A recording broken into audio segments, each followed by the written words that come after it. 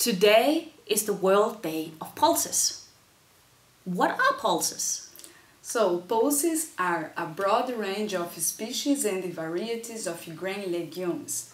For example, soybean, lentils, chickpeas, and the faba beans. Here we have broad beans and the field beans. And we have many more. Mm.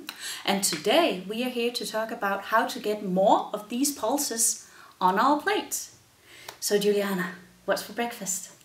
So, for breakfast, I like to have quinoa boiled in soy milk and I always like to add some cinnamon and banana to sweeten the taste. And on the side we have here bread with hummus that is made with chickpea and some fruit. And you, Kirsten, what do you have for lunch? For lunch, I have here a reheated quiche topped with some bean sprouts. And on the side, we have a cold salad made with green peas, boiled green beans. We have some boiled green veg. And for extra filling, we have some bulgur. It is also uh, topped with some tomato slices.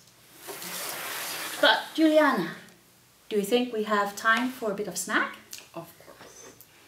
I have here some roasted bread mm -hmm. with peanut butter and topped with banana slices. Looks good. Mm -hmm. So, I think it's time for dinner. Oh, what's on the menu? Mm.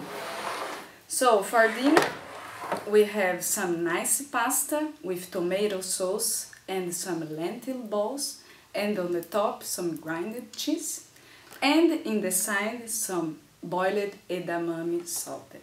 Oh, looks nice. Yeah. Bon appetit. Bon appetit.